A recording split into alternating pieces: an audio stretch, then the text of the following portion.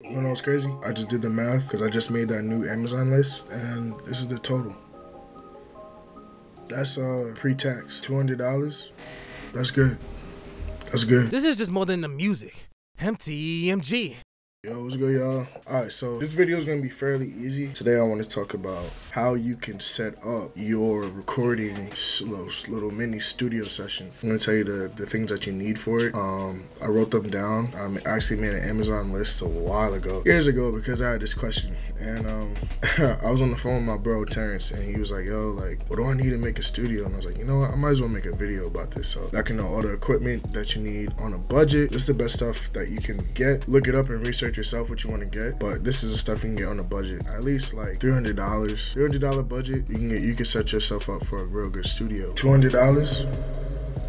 That's good. Plus, in my last video, shameless plug, you can get my vocal preset so you can really sound good. Um, you can see right here, I'm on Amazon. You go on Amazon, this is the list I made. You got a pop filter, definitely need that. A microphone stand, this is good right here. A tripod. These speakers are just generic speakers, so when you're listening in your room, you can play it back. These are pretty decent. These are whatever I found on the web. I thought they were pretty decent. I don't have them. I have the KRK Rokits uh, fives. Of course, you got the Focusrite Scarlett Solo, 99.99, but right now I guess it's 107. That went up, but uh, it always used to be 99.99, and this is renewed. Dang. This is an audio interface. This is another audio interface, the Behringer U-Phoria. Both of them are decent. I had a a long time ago. I had a M Audio audio interface. It was decent. It was really good. I mean, Focusrite probably is the most popular, and that's what I have right now. I got the step up above this one, which is the uh, the 2i2. I think. Yeah, I got one of those. Microphone right here. Is $99. It's an XLR cable mic, like a regular microphone that you plug in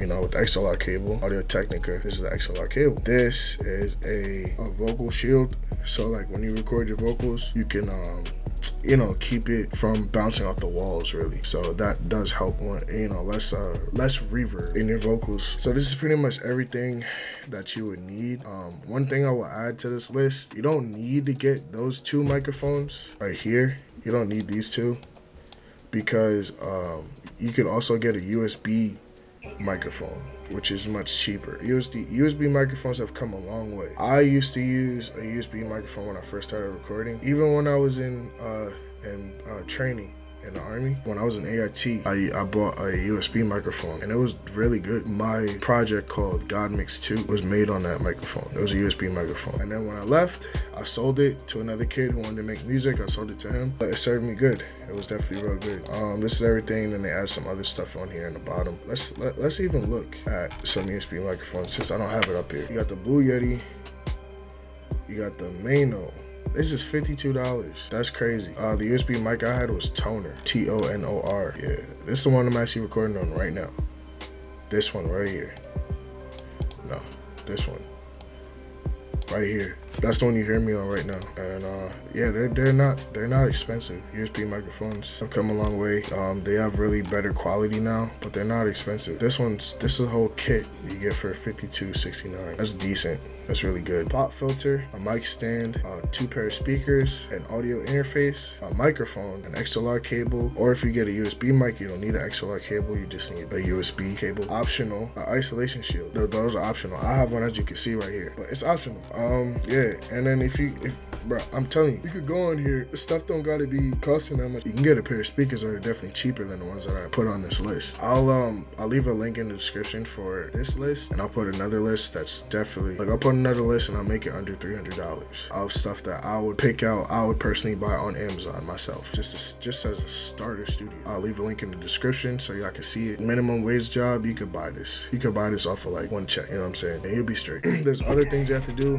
when it comes to recording. Like one thing that I learned that I used to do, I used to record like right by the wall. Like I used to put my microphone right next to the wall. And then I found out that's terrible. that's really bad. And I didn't have a sound shield at the time, isolation shield. You really want to record in the middle of the room. The reason why is because your voice will bounce off the walls, come back into the microphone. So if you're really close to the wall, that's a short distance. So the sound could give like a, it could give like a double feedback effect into the mic. The quality will, will make a difference if you go like in the middle of the wall, in the middle of the room, away from the wall, you will hear a definite a definite difference in quality when it comes to recording. Pop filters help for sure. They they stop literally any sound that you make. Like when I make the pop sound, it comes with a force of air, so it'll it'll catch that air. Also, I'm gonna show you right here. Hold on, this right here, I don't know what it's called. I use it for two things: as a protector, and another thing for I use it for to protect my microphone, cause so dust doesn't co collect into my mic, cause I have it out like most of the time. And two,